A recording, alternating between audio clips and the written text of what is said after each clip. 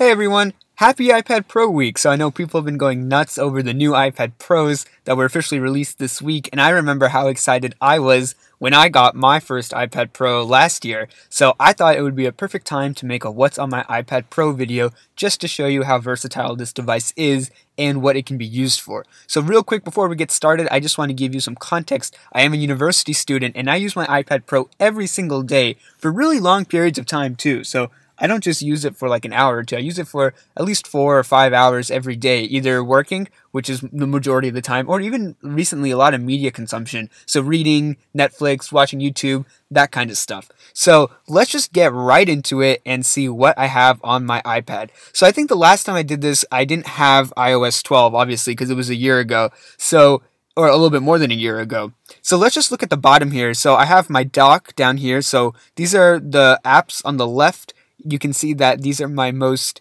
used apps. So these are the apps that I want to have really easy access to at all times. So Safari is a huge one. It's, it's, a great web browser for the iPad. Then we have the Mail app, which I use all the time. So the iPad is really good for checking email. Then next to that, we have the Settings app which is always good to have ready and available for you. Then we have the Messages app, which admittedly I do use more than I probably should in class. And then next to that, we have my note taking app of choice, which is Notability. So this is the main powerhouse of my iPad, essentially, and I'll get more into that later on. Then to the right of that, we have the most recently used apps. So these are apps I just opened really recently. It doesn't necessarily mean I use them the most, but the iOS 12 basically puts these in for you, and you can disable this as well. But I like it. So Gmail is something that I just opened. Then we have Outlook, so you can say I do a lot of email on my iPad. Then this app all the way on the right. So this is an anatomy app. It's actually the free version, and I just had opened it up right before I did this video because I was curious to see why I had this. Because it's not the free, it's not the full version. It's the free version, so you can't do much with it. But it is cool if you get the full version. It has some really really powerful tools. So let's go from the top. So this is the first page of my home screen. And I call this the boring page. So this basically has a lot of the stock apps and, you know, things that I'm not really using all the time. So you have the camera app, which I don't use ever really. I don't use it for any video recording because my phone has a better camera. And sometimes you can use it for FaceTime, and it's, it's a pretty good front-facing camera, so that's nice. Then you have Apple Maps, which is almost completely pointless since I don't have the cellular version, but it's there if you need it. Then you have the clock app, which is a clock. then you have Photo Booth, which is really funny. I didn't even know I had this app until I was about to make this video. Then we have the calendar app, which I actually have recently started using a lot. So let me let's get into this right here. So at first glance, the calendar looks really cluttered and everything, but I can show you something real quick. So if I click on the calendars, you can actually see that I have a whole bunch of different calendars here. So I have school and exam separate. So what I usually do is I usually know my schedule by memory. So I can just click that off and then I can just see when I have an exam. So today's the 9th. You can see here, yes, I had two exams today. So that's what those green dots are. And then you can click on them to see what it opens. And then you can also go around, see when my Thanksgiving break is, and then you can see when I have my next exam, which is December 5th, looks like in behavioral ecology. And then right after that is my biochem exam. So it's really neat. It's a really great way to keep track of your exams. And then I do have the school feature, which just gives you my schedule, which I, like I said, I don't need it because I memorized it by now, but it is good to see just to make sure in case you want to schedule something and you're not entirely sure what times you are available or you just want to double check. So that's always really fun to use and it's actually a really useful tool that I haven't used previously. I just started that this year and I'm loving it. So that's the calendar app. So actually something really useful. And if you guys have any recommendations for other calendar apps, let me know. I think it's a, a really powerful tool that I might want to look into a little bit more. But I've just been using the stock Apple one because it syncs all across your devices. Then you have the Contacts app. I'm not going to open that because it has a lot of my friends and stuff on it, and it's just, you know, contacts. Then you have Home. So this is for HomeKit. I don't have any HomeKit enabled devices at all. I'm not really a smart home user. I don't really think smart homes are that great personally. Maybe it'll take off more. I actually find it a little bit creepy sometimes, so I haven't really got into that yet. Then we have my Notes app. So I actually use the Notes app more for taking quick notes and not really taking extensive detailed notes. So like it, it, I treat the notes app like it's a scrap of paper or it's like a sticky note where I just jot something down real quick and then I usually end up erasing it like within the, within the next few days. There are much better word processors out there if you want to type stuff, and much better note taking apps if you really want to take notes seriously. But if you don't need to do either of those, then I think the Notes app is perfect, which I'm sure most of you guys are already familiar with if you have an iPhone. Then we have reminders. This is something else that I don't really use. So I have my two of my friends' birthdays here, but like that's all I've really used for my reminders app. I've never found it too useful. I think the calendar is more useful. So I always just left the reminders as it is. Then we have the iTunes Store, which you guys know what that is, and the App Store, which you guys also should know what that is. Then we have the News app here, which is actually something I have been using recently just to check some headlines. But believe it or not, YouTube is actually, whenever they show breaking news clips, that's actually been a pretty useful source in the in recent months. So that's what I use a lot of the time, but it does have some more in-depth articles if you are wanting to look at something. So there is the news app. So I would use I use this I think like once a week maybe. I get news from other sources. Then we have the stocks app which I don't actually do any stocks. I probably should, but I'm not into that yet. So I don't really have a need for it and it is here though cuz that's something that they introduced in iOS 12. Then we have the podcast app which I don't use on my iPad, but I do use on my phone. Then we have iBooks so I actually I've been using iBooks lately just because it syncs really seamlessly across all my devices, my Apple devices. And you can see here, so I am I'm in landscape mode, but the the book is in portrait orientation. And that's because this isn't a book that I purchased. So this is Harry Potter and the Half-Blood Prince.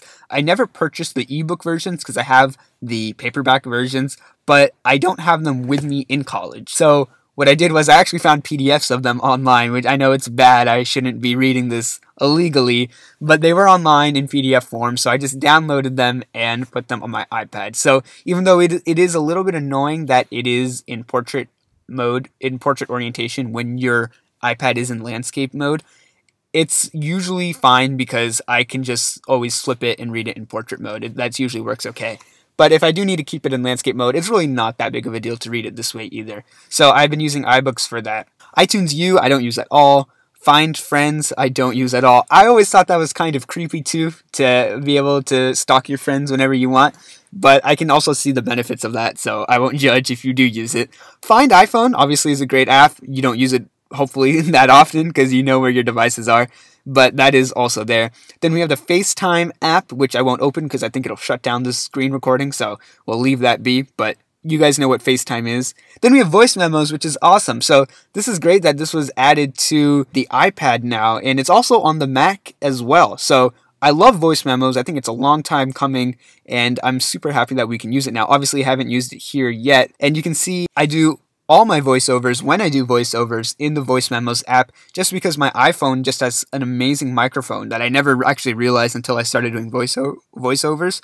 And actually, the iPad also has a really good microphone. So that's funny. I never really realized that either. But I could be doing voiceovers on my iPad as well. And maybe I will start. Then we can swipe right. So this is where all the good stuff is. So first we have photos. So I do take I, I don't take photos with my iPad, but it is great that you can view your photos because I have iCloud Photo Library. I believe that's what they're calling it now. They've used so many different names for their photos, their cloud storage of photos.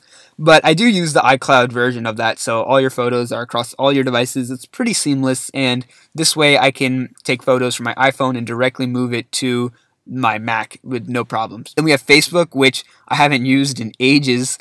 I don't use Facebook that often. Messenger, which is good to have if you need to contact people. Flappy Bird, which is just funny, I think, that I still have Flappy Bird on my device. I don't know if I'll ever delete it because it was just such a funny game that was so popular back so many years ago. I think that was in 2015.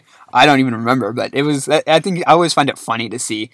Then we have the Tips app, which I'm not going to go over.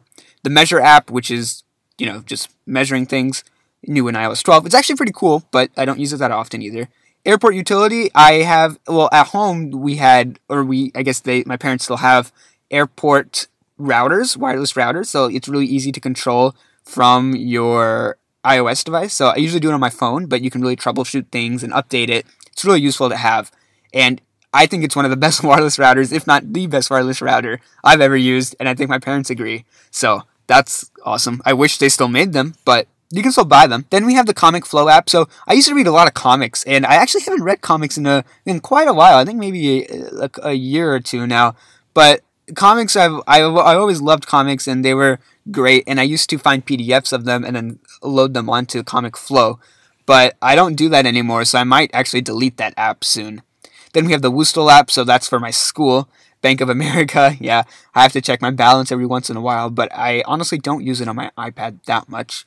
Then we get into the folders, so this is where most of the good stuff happens. So, folders. So, entertainment. I have Netflix. Hulu, actually, I don't use and I don't have, uh, but I tried it once, I think. So, Netflix, obviously, is a great to have Netflix on your iPad. You know, the iPad has such a beautiful screen and it's such a great device to watch content on. I don't know why I didn't do it sooner. But you can see what I've been watching here. I actually finished Daredevil season 3 about a week ago. That was fantastic. And a lot of the shows that Netflix has are usually pretty good. So I love superhero shows. Superhero shows. I love the Marvel superhero shows. Those are great. And then they also have the CW superhero shows like Arrow, Legends of Tomorrow, Flash. So the old seasons. So that's always fun to watch too. So Netflix, obviously, people know what Netflix is. It's such a great app to have, and it's such a perfect device to be watching Netflix on, in my opinion. Then you have YouTube, so you know everyone knows what YouTube is. You're watching this video on YouTube right now. Again, it's, it is a pretty useful app to have on your iPad, but I do find myself using my phone a little bit more for YouTube than my iPad. Then we have the Dish Anywhere app, which is if you have Dish, you can basically watch your recorded TV shows remotely. So I don't have Dish, but my parents did, so I downloaded the app so they could use it when they needed to. And now, obviously, I don't live with them anymore because I'm in college, so I don't really need that app. I could probably delete that. Then we have the CBS app. So this is great if you want to watch CBS shows. You can usually watch them the day after they air. You will get ads, but it's still cool to have. Same thing with the CW app. So I watched all the CW shows, like the superhero CW shows, like Arrow, The Flash. Uh, actually, those are the only two I've been watching recently. I have to catch up with the other ones. But it is great. You can watch them the very next day that they air. You do get ads, but they're not terrible, right? And you get a really good quality show, eh, meaning like it's in HD, and you're not torrenting it, and you're still watching it legitimately. So I think it's a great idea, and it is a little bit shorter. I think it's only 52 minutes as opposed to an hour. So there are, I think, a little bit less commercials than when you watch it on the app. So that's great. Then recently, this is the DC Universe app. So I know, sorry, if you're not into superheroes, this is a lot of superhero stuff right now. I love superhero and comic books and stuff. So this is the I've been watching Titans recently, which is it's not a, it's not a bad show, but it's not a great show. And then I actually I've been watching Teen Titans, the animated series, not Teen Titans Go, the the good Teen Titans. So it's not showing up here right now, but I was I can promise you I was watching it. So that's really fun to watch as well. And then you also get a lot of comics on here, so that's another reason why I don't need Comic Flow anymore because you actually get free comics. So you do have to pay, it's a subscription based service, but I really wanted to watch Titans and Young Justice Season 3 when that comes out. So, in my opinion, well worth the money.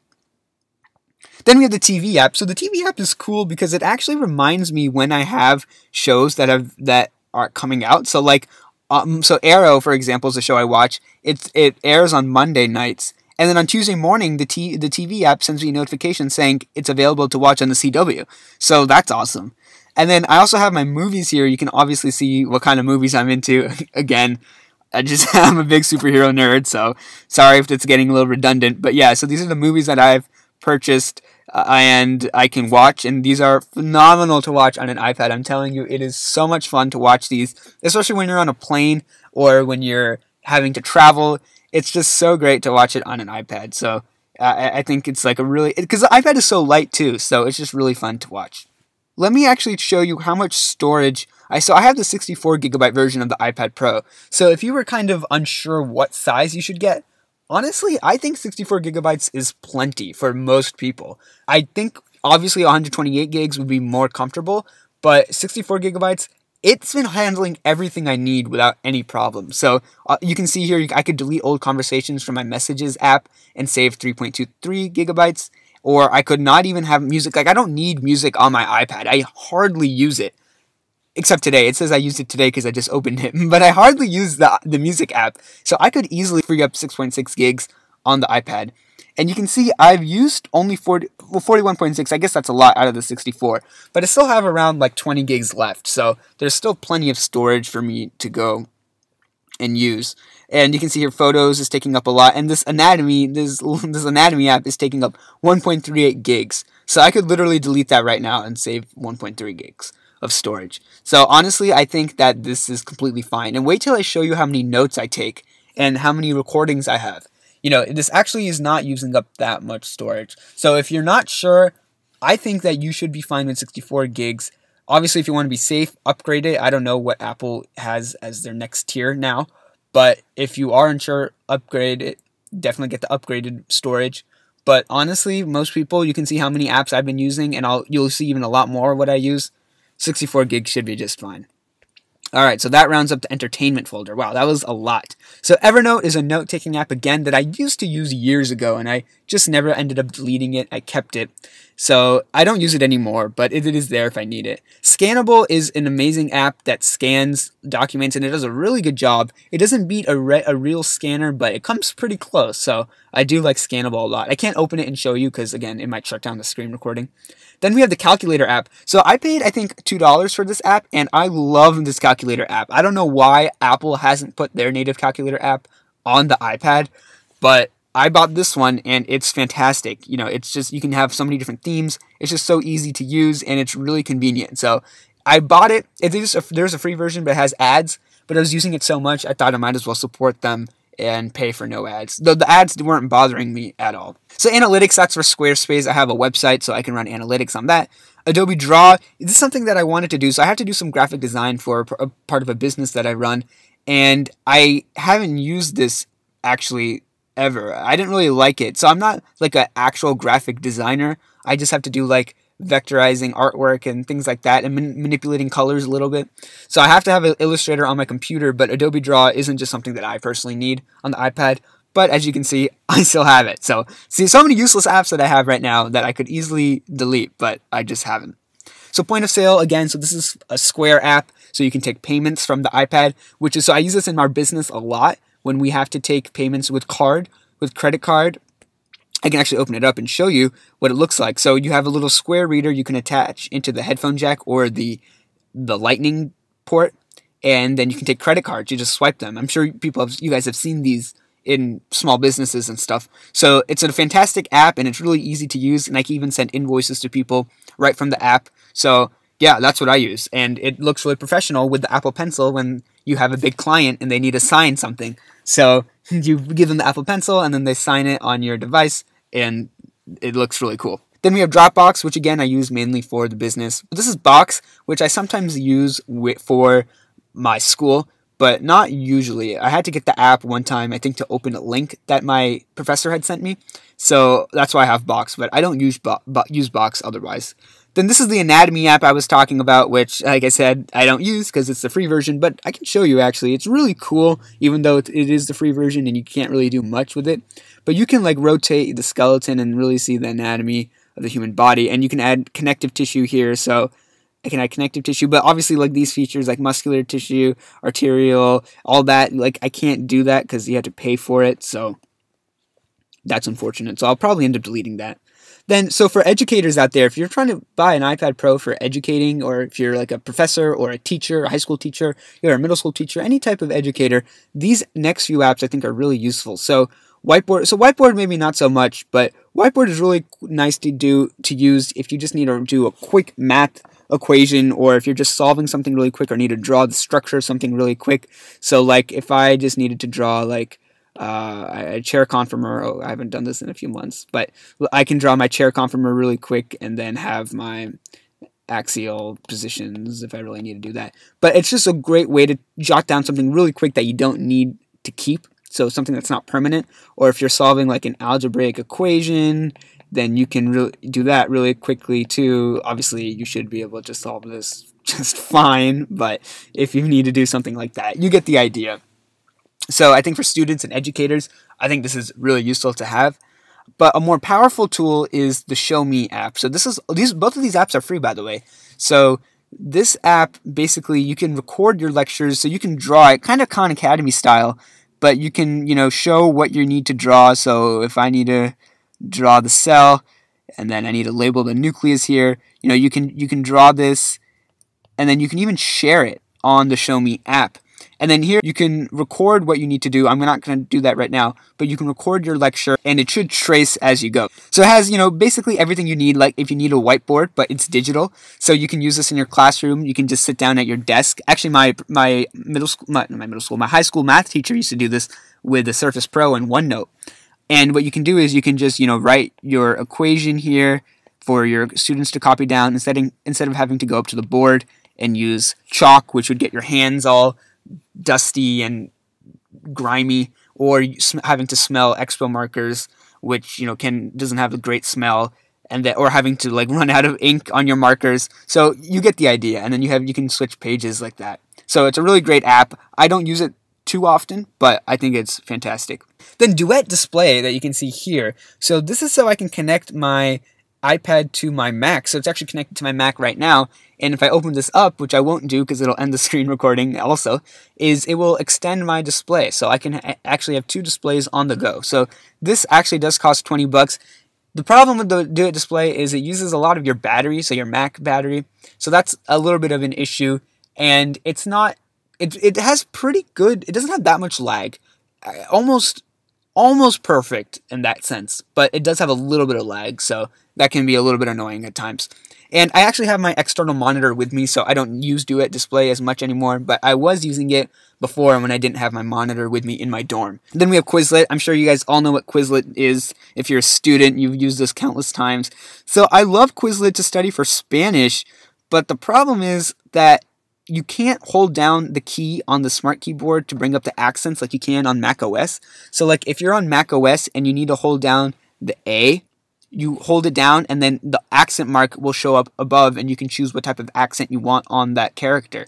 So the same doesn't hold true on iOS for some reason, at least not on Quizlet. So I don't really use Quizlet anymore because I usually use Quizlet for Spanish. So I use my Mac for Quizlet. Then Slack, so this is what you use if you're working with like your boss, you need to communicate, you can, you know, create projects and do stuff like that. So I'm a grader for organic chemistry, so I need to use Slack for that. Then we have Blackboard. So my my university uses Blackboard and Canvas this year, but we are switching completely to Canvas. So the Blackboard app is pretty much garbage. So you can see here it's an updated and I haven't opened it. I don't think I've ever opened it on my iPad because it's so bad, at least on my iPhone. So if I need to use Blackboard, I'll use the mobile site on the iPad. It's not even the mobile site, actually. I think it's the full site on Safari. And we have Canvas. So Canvas is actually a really useful app. So Canvas is basically where your teacher, your professor can post all the material that you need. So you can see here, my homework for Monday is listening to this. Okay, so this this doesn't have any PDF documents, but so for, so we have to read a scientific paper every week. So I can show you the Friday reading we had. So you can see that it has the the paper that we need to read, and he, he's highlighted some things for us. And then what I can do is I can actually send this to Notability.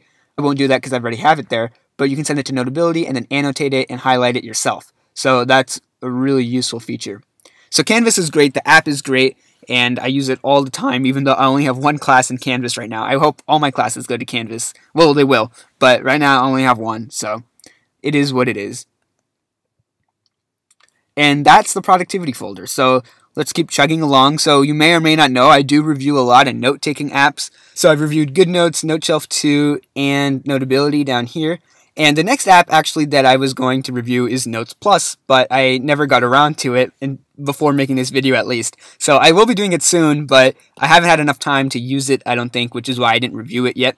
But you can see here, so this is another note-taking app. It looks really good and it has some really cool features, but I haven't explored all of it yet, so I can't say much about it right now because I don't know much about it.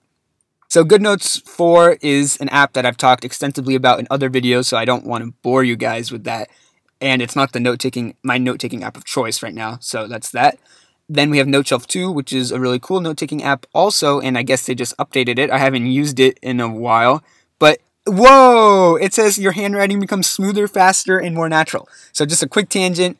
In my NoteShelf 2 app review, I said that the handwriting did not feel very smooth or natural or fast. So this is they. I guess they listened to many people complaining about this. So I'm really hope I'm really happy to try that out soon. Then you can create new notes, I guess, with Hey Siri, pin to top. That's actually really cool. And wow, so I actually need to go back and use this app more because that's a really, really neat updates they have. It's still not my note taking app of choice, but you know, it could change if the updates are that good. Then you can see the next few folders are broken up into companies, so Amazon. So my Amazon, that's shopping, that's pretty boring. Prime Video, I don't even know why I have that. I don't have Amazon Prime, so I should probably delete that app. Then we have the Kindle app, which I haven't used in a while, but it is cool. So this is this one book I was reading on Kindle. So the Kindle app I think is a much nicer reading experience than iBooks just in general. It's a lot cleaner, a lot easier to use. But the iBooks iBooks is just easier to sync across all my devices, which is why I put my PDFs in iBooks. So that's why that's like that.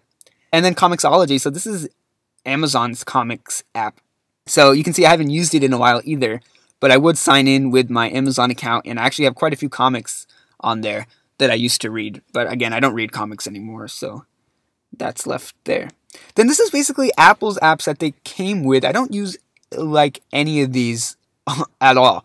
And I'll tell you why, except maybe the Files app. So actually the Files app is incredibly useful. You can see on my on my Files app, I'm in my iCloud Drive, and the, this is actually on my desktop on my Mac. So I always have access to everything that's on my desktop on my Mac, which is an incredibly useful feature. Oh my gosh, it's so useful. I use this all the time. And if I ever need something from my Mac, I just put it on my desktop real quick, and in a second, it's available for me to download onto my iPad. So this is long overdue. I think it, this Files app has been around for at least a year, but it's an incredibly useful feature. So if you have a Mac and an iPad, oh my gosh, the the experience between the two is phenomenal. It's really great. Then we have the Microsoft Suite. So actually, this is what I use for word processing and for slides and for any number crunching I have to do. Microsoft Suite is always been top notch and it still is. And the reason why I use this is because my university actually gives this to us for free until at least while we attend. So I do have access to this until I graduate. So let me open up Microsoft Word, for example. I actually, when I need to create study guides for my classes, I definitely go to Microsoft. Here, here's a prime example. I go to Microsoft Word hands down every single time on my iPad because it's so much fun to type and create study guides on. It's so easy to use. So what I can do is I have Microsoft Word open here and then I have my notes on the slides or notability notes open on my computer so I can just type what I need to on my iPad and then look at what the information is on my computer. And the reason why I do it on my Mac and I don't do it the other way around is because it's a lot easier to look up information on Google real quick if you need to on a regular computer as opposed to an iPad. So let me just give you a quick example of the type of notes I make. So here we have it. And these pictures I do add actually after. So I screenshot them on my Mac and then since it's all connected with OneDrive, I can just open this document anywhere. It's really hard to explain how convenient it is, but basically I can open this Word document anywhere I want and it's just a really amazing experience. So if your school or your university offers the Microsoft Word Suite for free, definitely take advantage of it because it's awesome. Then PowerPoint I don't use that much when you're in college. You don't really make that many presentations. Excel, again, I don't I'm not like a math major. I'm a neuroscience major, not a math major, so I don't really use Excel that much, but I do use it once in a while. OneNote is another note-taking app that I reviewed, and it's fine. I, I think it's a good note-taking app, but it's not the best one. And that's one of the main reasons why I don't have the Surface Pro, right? It's not because I necessarily like iOS better than Windows, but it's because the suite of apps are so much better on iOS. I just have like I can't I can't take notes on OneNote. I tried it. It's just not fun. Like it doesn't it doesn't make you want to take digital notes in my opinion. So, and I've talked about that extensively too in my OneNote versus Notability videos. So, you could always watch those if you really want, but that I could go on for a long time, and I've already been going on for so long. So that you you can trust me when I say I can go on for a long time talking about those two. Then we have my OneDrive app, which again is connected to my university. So I use OneDrive for all my cloud storage that isn't on that I'm not using iCloud for. So I use OneDrive actually for all my school documents and stuff. And I back up my notability notes into OneDrive as well because I get a terabyte. So that's awesome. You can see here how I have this sorted out. My notability notes, which is great. I can always access them even if I'm on a Windows computer and it doesn't have notability. I can just go to OneDrive and find whatever note I need because it always backs up. So you can see the classes I'm planning on taking. I kind of have things planned out, and you can see what requirements I need to meet still. So these are the classes I have to take. So you can see here that I have some of my classes and that I took. So this is actually when I was a sophomore, but basically I'd create folders and it has all of the, you know, quizzes and lectures that I need to watch. So always accessible. So that's the Microsoft Suite. So I guess I use the Microsoft apps the most. Then we have the Google Suite. So again, like the Apple Suite, I don't really use any of these. I don't use Google Docs, Sheets, or Slides unless our professor forces us to work in a group for some reason. Or, you know, if an organization needs to share a doc with you because you have a lot of people, then, then I can use this sometimes. Then we have the Hangouts app, which I haven't used in a really long time, but I used to use it all the time. Then we have Google Keep, which is kind of like reminders. Google Photos, which is great, but now that I have iCloud, I pay for iCloud storage now. I pay a dollar a month for that. So I don't really need to use Google, Google Photos, and I don't really take pictures on my iPad anyway. But it is good to see because all my family backs up to one Google Photos account, so we can all see each other's pictures when we want to. Then we have the Gmail app. So uh, I want to open it and show you what it looks like, but I also it also has some information that I can't really show publicly. So I'm gonna have to skip over opening that. But I can tell you, if you used the Gmail app before on iOS, I don't know how you guys feel about it, but I personally hate it. I don't think it's that intuitive at all. And when you send emails, like it sends the whole chain of email underneath your message. So if you have a long chain going on, it sends like the whole thing, attachments and all. It's really strange. I don't know if I'm missing something, but I really don't like it. Then you have the Google Drive app, which of course is the cloud storage option offered by Google. Okay, so finally, I've been saving the best for last. Let's look at Notability. So as I mentioned before, and I will talk about this a little bit more since I use it a lot, Notability is my go-to app. If we go to Notability here, you can see this is literally all my notes that I have for all my classes. So I'm taking biochemistry right now, so all the lecture notes, that uh, we have that she gives us, and then all the problem sets, and then some review things that I wanted to review before the exam. Then you can even hear I have behavioral ecology, same thing. So I actually record my lectures here, and you can see it's an hour 12. I don't know if you can see that up here, but it's an hour and 12 minutes long. And these recordings don't take up that much storage at all. So it's awesome. And I can listen back to them when I'm studying and scroll through them. And you can see as I scroll through them, see my notes start appearing? That's because Notability tracks what note what you wrote at what time. That is an amazing feature and I use this all the time when I need to study and it's really really useful because you can't always write down everything the professor is saying and since his slides don't have that much info, you really have to pay attention to what he's saying verbally and then this is a good way to listen to that and remember what he said. Then as I mentioned principles of the nervous system, so that was the class I was taking on Canvas, that was on Canvas and you can see some of my notes here. So some drawings we have. And one thing I wanted to point out is I highly recommend buying a keyboard with your iPad Pro. Doesn't have to be the smart keyboard necessarily, but definitely buy some keyboard that's easy to use because you can see here in this lecture, what we were doing was there was so much information on the slides, but we, they were also writing stuff on the board. So I could easily switch between typing on the comfortable keyboard, and then I could go back to handwriting to make these diagrams and things like that. So if you, this is why I think it's it's really seamless to switch between the two, and I really recommend getting a keyboard for your iPad Pro if you are a student and you're going to be taking notes. Then I have a religion course that I have to take, which is which I can have. She posts all the readings on Blackboard, and what you can see here is I download the readings onto my iPad. So I mentioned Blackboard before, how I use it on Safari. So I'm on Safari right now, and you can see she posted all the readings we have to do. So I can just easily open this up and then send this to Notability when I need to. So this is then I can highlight it, take notes, do whatever I need to. This is my MCAT. So I, I am trying to take the MCAT in the spring. I actually I am taking it in the spring. I'm not trying to. I will be taking it in the spring. So I have been studying for it. So you can see I have organized it by subject. So general chemistry, biology, orgo, physics, and then I just have some notes on it really quick of what problems and some equations you can see here. So that's been really useful too. So you can see what apps I use a lot. So like it mentions Notability, I use that a lot. Uh, uh iBooks, or I guess they just call it books now. I use it because I read a lot. And then Safari, Settings, DC Universe to watch Titans, Student, Mail, etc. So this is, like I said, mainly used for my productivity, but it is used a lot for reading and relaxing too. So it has a lot of purposes and it's a great device. So I really hope you enjoyed this video. Hopefully this gives you some idea of how you can use your recently purchased iPad Pro if you just bought the new one or it gives you some ideas of how to use your current iPad or iPad Pro as well. But that's all I have today. Thank you guys so much for watching. This was so much fun to make. I will see you in the next one.